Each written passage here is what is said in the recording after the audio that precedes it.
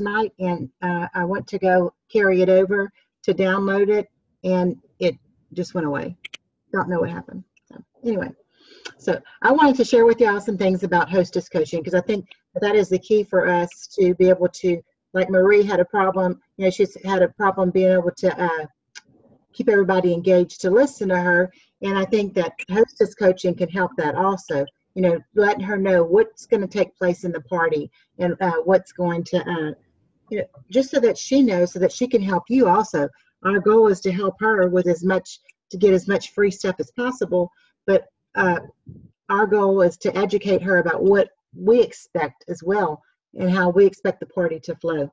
But I have a message from Angie Schmidt. She sent it to me in text and I couldn't send it to the computer to do. So I'm gonna I'm gonna play her message and hopefully y'all can hear what she has to say. So let me know if y'all can't hear. Just wave at me if y'all can't hear it. Hey, you all on Team MAD. It's Angie Schmidt, Senior Manager from St. Louis, Missouri. And wanted to come to you today with a couple of really quick hostess coaching tips that hopefully will help you fill those calendars and increase those party sales and just go back to having fun with your business. So, the first thing that I set the expectation right from the beginning when we booked the party is we're business partners. I think that is so important. Um, I actually send out a postcard that thanks them right off the bat, and this goes in the mail the very next morning. And here's what's the most important thing that's made a difference with my cancellations is there's a line on there that says I am 100% committed to your party, and I do expect the same. How's it worded? I am 100% committed to the date and time you have selected and greatly appreciate the same on your end. This is my livelihood and I love my job. I started doing this about three or four years ago, and it really lets them know that I take this seriously. This is my job. This is my only job. This is what pays the bills. So I set the expectation right up front that we're business partners, and it's all about having fun fun, fun, fun. I also have a checklist that I use that I will um, send so you guys can use it. It is my Bible for host coaching. It reminds me of every single thing that I need to do, and it's staying in communication. So my my two biggest tips right now for you guys are set the expectation right up front that you're business partners with your host and you are doing this to get them as much free chocolate and to have fun with their friends and family as possible. I mean, it's all about them. We help them. In turn, it helps us. Um, sending out that postcard or sending some little handwritten note, or even if it's a text message that you send to them saying that I am so super excited about you scheduling your party. And then the last thing is is following that checklist that I have. Um, it may work for you, it may not, but using that checklist as my Bible, your Bible, to make sure that you have I think I have three or four checkpoints that I text, email, phone call with them, and just make sure that it's all about keeping them engaged and excited. So hopefully this helps, and you all have a great day and an amazing week. Talk to you soon. Bye. Okay. So I uh, I have several documents, and I'm going to uh, post them in the uh, target team group that uh, people have shared with me. So I, uh, well, I'll show you the first one, and I think that we have it somewhere on Team Mad already. But uh, I'm gonna the one that Dina has made, and I actually use this um, this form here for uh, for my hostess packets. You know, just whenever I hand the hostess uh, the uh, her packet at the party, and I set the date and I just it, and I go over the party checklist with the host and let her know all about the different things that we uh, that we have highlighted here, and uh, you know make a product product list. You know we'll work together to get your uh, the guest sales where you want it to be. So I let them know right there then and there that I'm working for what she wants. You know, so I ask for her wish list so that I know what where what our target goal is but uh, Dina made this sheet and I, I love it. And what I really like about it is she has the host rewards down there. And I go over that with my host too, right when we set the uh, date.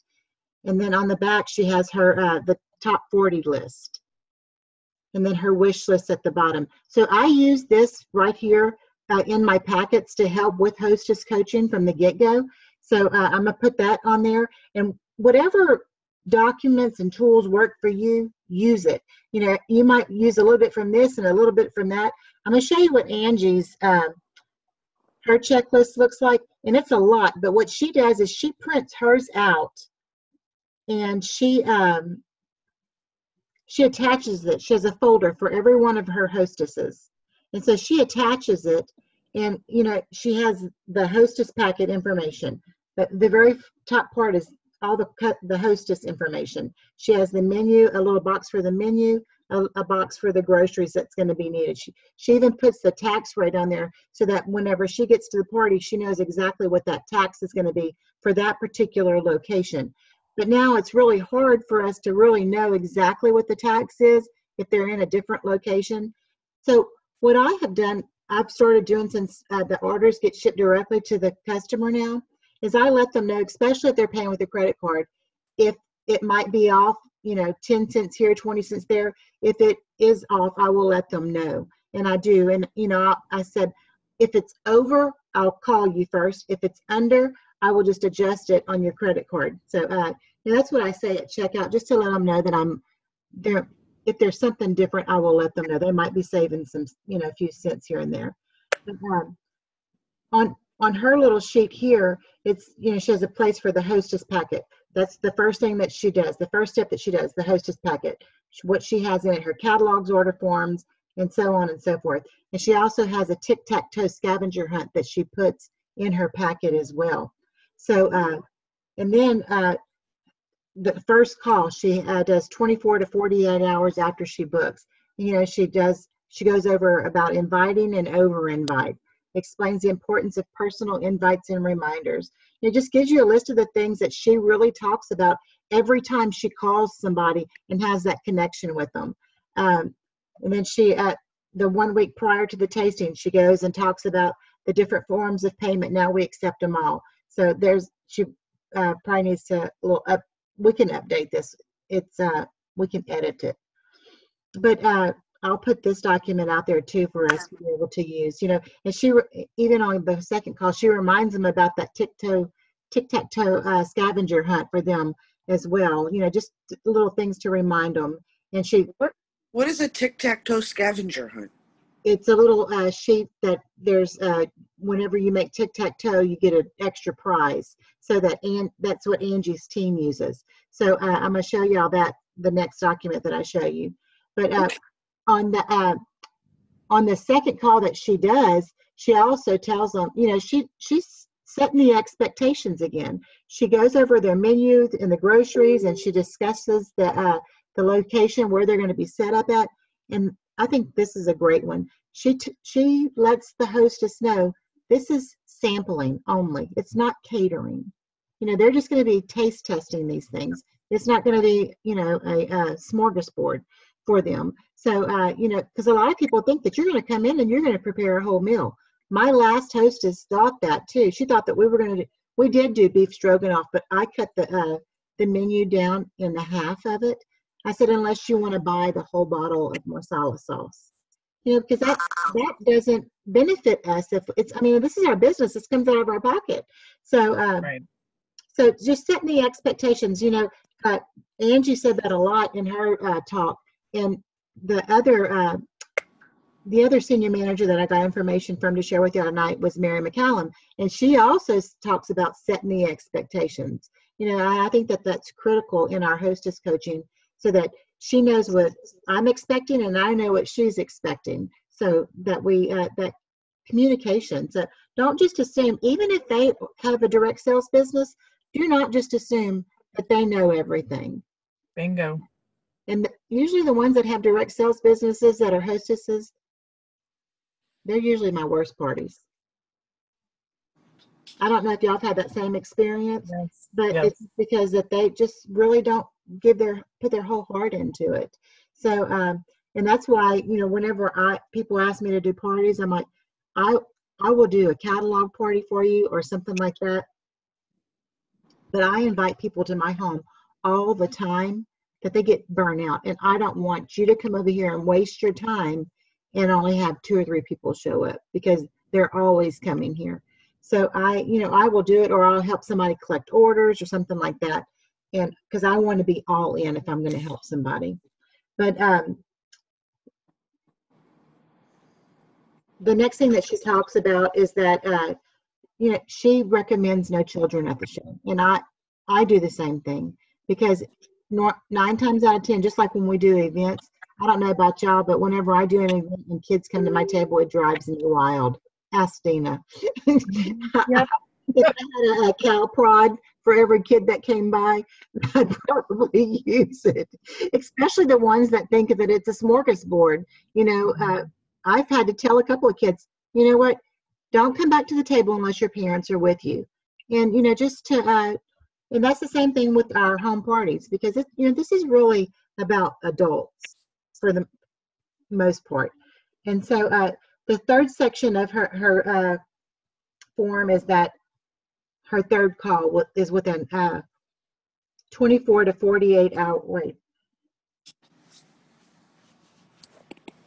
The expectations and the final commissions and just uh, going over the excitement and uh, confirming everything with uh, within 24 to 48 hours before her party. So that's what that is about. She gets directions. I mean, this little checklist is great.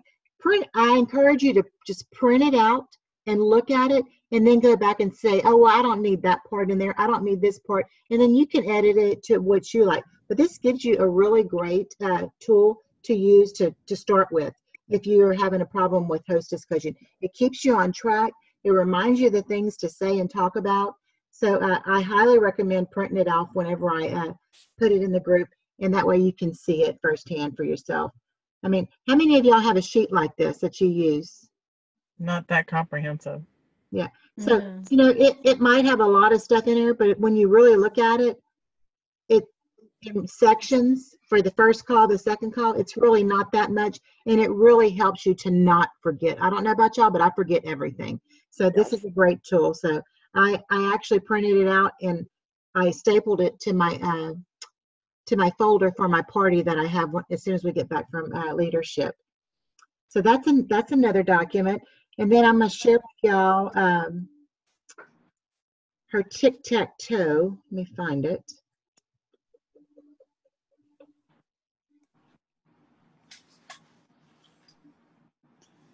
Here it is.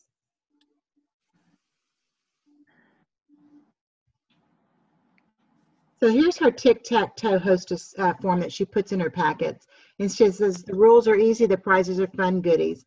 How many additional gifts will you earn? So this this right here, this is all about really getting your hostess engaged and knowing that she's really working that party. You know, like my uh, hostess that I have uh, two days after we get back from uh, New Jersey, she is so excited. I mean, she, I stopped by her office today and she's like, I cannot wait. She said, and since the uh, since the customer special could be one of those martinis, I think we should try two of them. I said, okay, I can do that. I said, it's, now it's just samples. She goes, no, she said, my goal is to sell enough that at least 15 people get a bottle of that martini mix. So she already has her goal that she wants 15 people buying $75 worth. She's a doctor's wife, so she is very uh, straightforward. So uh, I, I can't wait to see where this party's going to end up at. But just her tic-tac-toe sheet here is have at least 12 buying guests at your party. Uh, electronically invite at least 30 plus guests. You know, if you do the Margot, then you can do that there. Uh, you know, the other ones have $200 in outside orders before I arrive. And so uh, one of the things that I've seen Angie do is she'll put that on her Facebook events that they do for each of their hostess parties and like, okay, Charlotte needs $200 in outside orders. So everybody that can't come, make sure you turn in your orders before a party so she can cross off one of the areas on her tic-tac-toe sheet. So, uh, you know, so she drops that seed because she is all in it for the hostess. So that is a great tool for you to use to help boost your sales, but also to let your hostess know that she really is wanting me to get as much stuff as I possibly can. So it's a partnership. So uh, the next box was confirm one booking before she before uh, the hostess or the consultant arrives. Uh, the next one, participate in a cocoa chat to learn more about our amazing opportunity.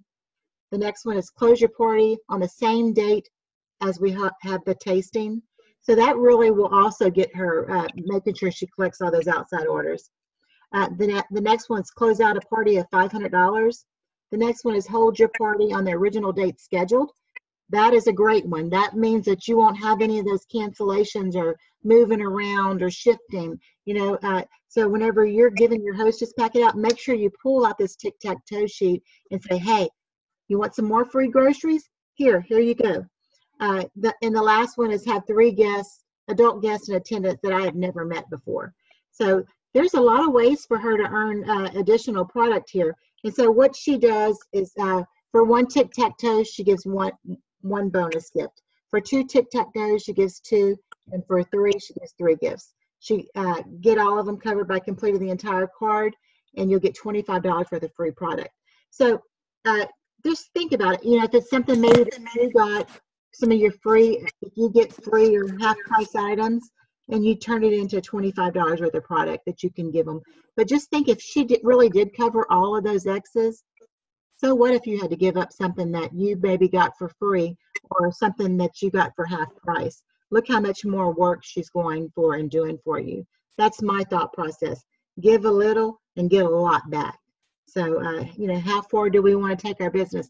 How big do we want it to grow? So, this is another great tool for you to use, and I'll share that one also. And then uh, there's another sheet. Uh, sorry, y'all, I didn't mean to stop the video. Um, I'm getting so excited to share all this stuff with y'all. No, here's another uh, form that she uses that she puts in the hostess packet. And it's, can y'all see that? Wish list. Oh, no, that's the wrong one. Duh. Okay, let's, let's see.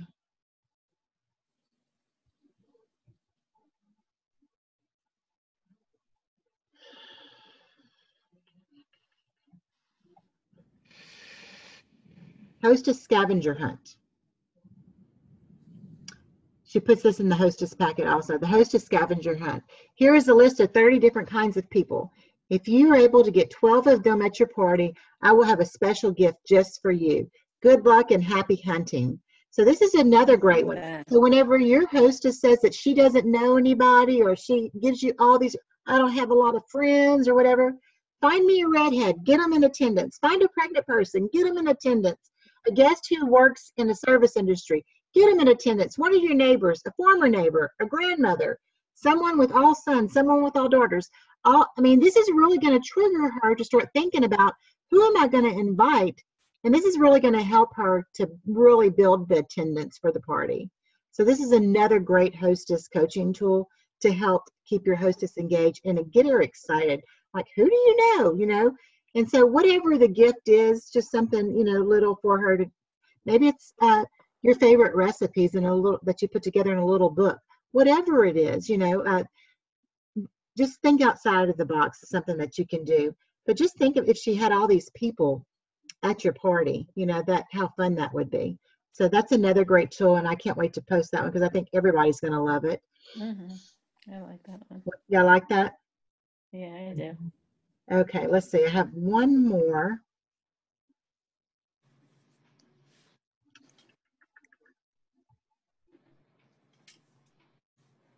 And this is from mary mccallum uh, this is her tools her, her tips for us for uh, hostess coaching. And here she goes. She says she said i keep the communications open with them as much as i can. She does at least five touch points because we are partnering together to make her party a success the first touch point is she starts hostess coaching at the time of the booking and you know that's really where it all begins she she sets her expectations and uh, she said she's she'll let them know when she'll be reaching out as well as the best communication method and I've been doing that a lot, asking them, you know, do you text? Do you Facebook? What is the best way? Calling is okay. And a lot of people are like, you know what, I can't talk on the phone during the day because I'm at work, but you know what, I can respond to text messages. So I have found that most of my hostesses, they're texting me or they're Facebook messaging me. So uh, that's, a, you know, make sure that you find out which, what's the best way to communicate with them. Number two, right after the booking, thank the uh, host for setting the date. And in Angie's little video that she sent to me, she has a little postcard that she sends out as soon as they book their party. So I'll ask her if she can uh, put a copy of her uh, postcard or send me a copy of it and I'll post it on our uh, team page. Uh, so uh, she thanks them for setting the date and then she gives them a couple of reminders and instructions to get their guest list to her because uh, I think Mary goes through the Margot system with them. So number three, she is specific about the uh, guest list if she hasn't gotten it to them or wait. Number three is specifically about the guest list. If she hasn't gotten it to me or is she, she, or if she has, then we set a menu. So she waits for them to get the guest list and then she sets the menu, is what she's saying. Number four is what I call damage control, in case things aren't going how she had anticipated, so I can be her confidence in remaining, reminding her about outside orders and extra guests. So this one here, you know, if the host is like, oh my gosh, I only had five people coming. Well, you know what? Let's who who isn't coming? Let's talk about those people and uh, how we can engage them in getting their orders. And if you're using tic-tac-toe form, you can actually post that if you do event pages. I do event page on Facebook for every party that I have. I set it up for my host. I add her as the co-host and I post in her event all the time things that we're going to be having at her party, uh, who's bringing a friend so that we know how much food to prepare and so on and so forth. So, uh, and then number five, she contacts her two days before the party. She said, I have her personally reach out to each guest as a reminder, and I tell her to have her message me uh, the, at the end with yeses or nos. And can I um, can I put your name on on a martini sample? That's a great one right there. Uh, whenever she is reaching out to her guests for reminders, she's like, she says, "Can I put your name on a martini sample?" So I'm reserving a martini sample just for you. So that's a great way to for them to really see if their uh, friends are coming or not. So the other tip is to keep in mind that you are the expert, regardless of how much experience you have. You have the training and the knowledge of what to do. So don't be shy to tell them as a business partner, partner what they need to do to make it a successful party. That goes back to what I just said about uh, whenever we book parties with consultants from other companies. You know, they are looking for you to take the lead. So make sure that you work this like you want it to be a thousand dollar party or a two thousand dollar party, but it's going to be the best party ever. And you know, don't slack in any of those categories because when we slack, that's whenever our parties aren't so great. I don't know if any of y'all have noticed that, but I know that whenever I'm not doing what I really should be doing, or maybe I just had a bad week and I slacked on my hostess coaching, I didn't make those final calls, or I didn't make that extra call, it seems like my parties just aren't as great because I didn't put as much enthusiasm and work into it. Has anybody experienced that? Yes. So uh, that's some of the tips that I have for y'all for hostess coaching.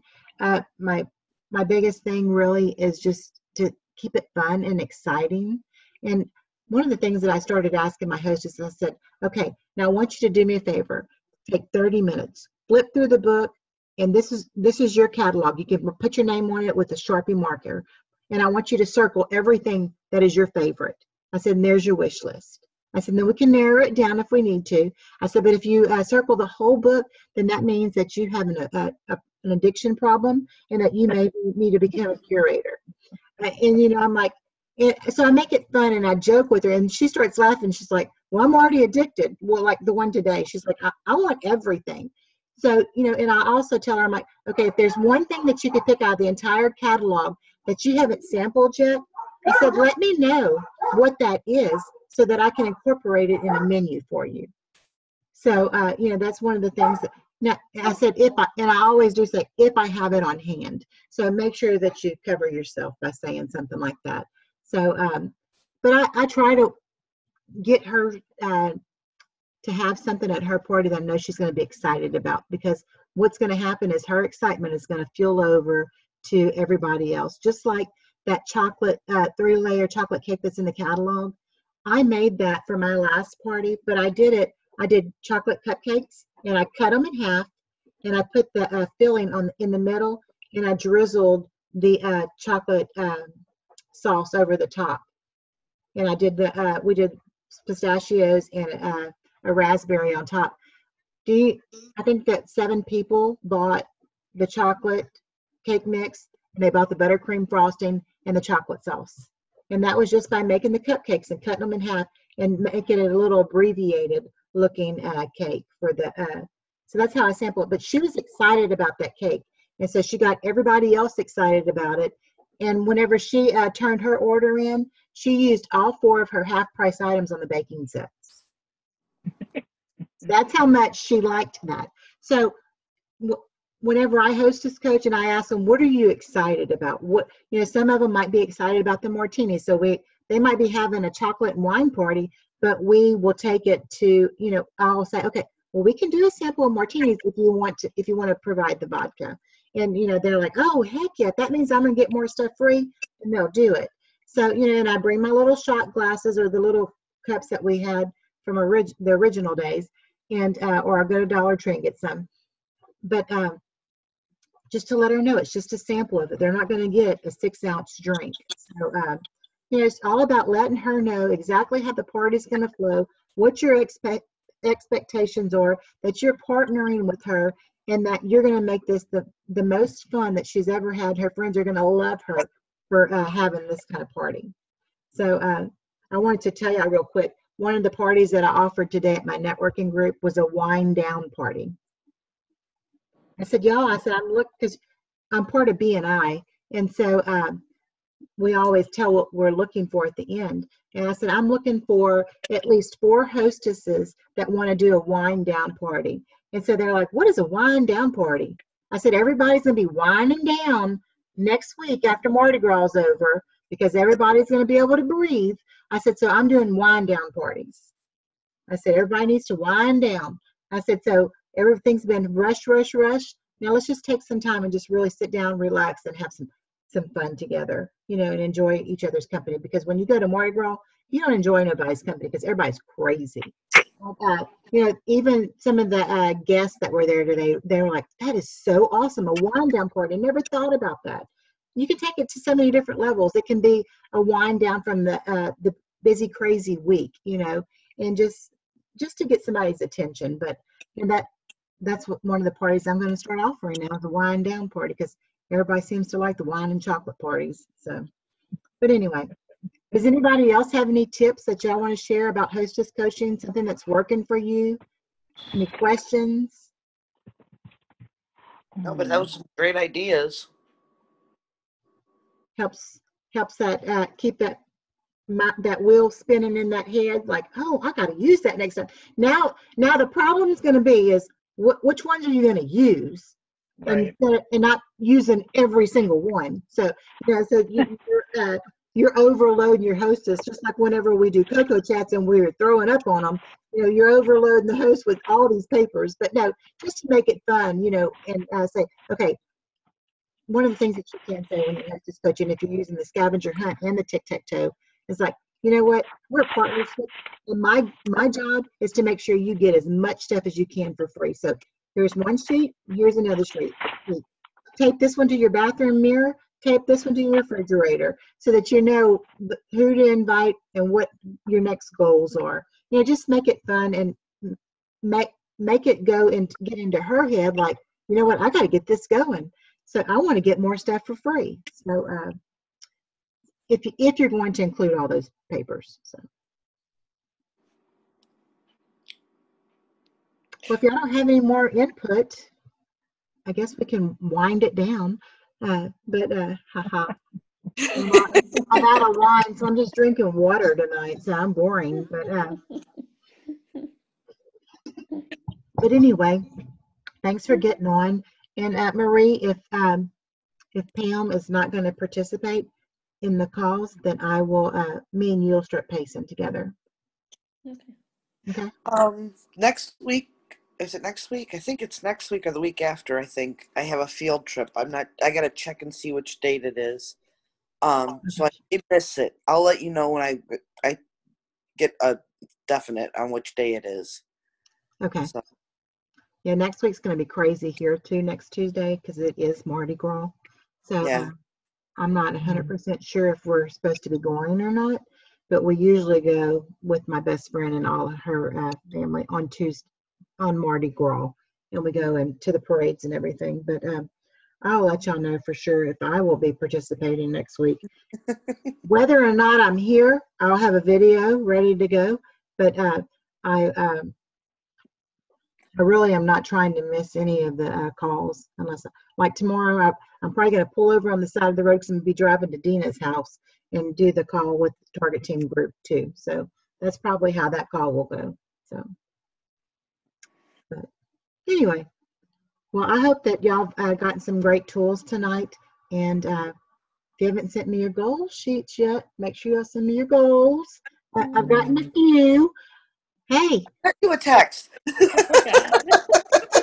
it, it's great to uh, to get them just so that I know where I can help you and where I can say, okay, what do we have going on, you know, and how how are you going to get to that goal? And I, I've said that to Dina a couple times. I know she to say, just shut up, but uh, you know, how are you going to do that? But, but you know, just uh, I want you to be able to make what you're saying that you you want to make, Dina. I, I know how much she said Yep. she wants to make, and good Lord, I don't know what we're going to do to get there, but we're going to get there. So we're going to win the chocolate lotto. Yeah, exactly. That's exactly it.